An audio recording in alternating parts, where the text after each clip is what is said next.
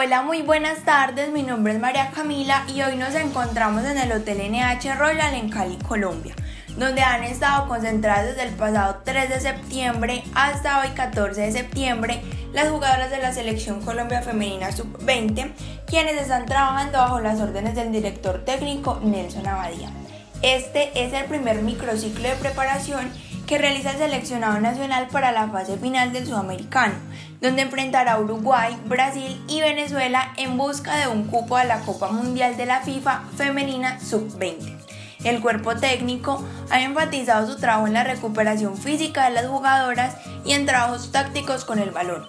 Para eso, el grupo de las 23 convocadas ha estado realizando un entrenamiento a doble jornada. Recordemos que la fase final de este sudamericano se disputará en Argentina del 16 al 22 de noviembre de este año 2020. Entrega dos boletos directos a la Copa Mundial que será en Costa Rica del 20 de enero hasta el 6 de febrero del 2021, donde esperamos que nuestras jugadoras lleguen a esta cita mundialista.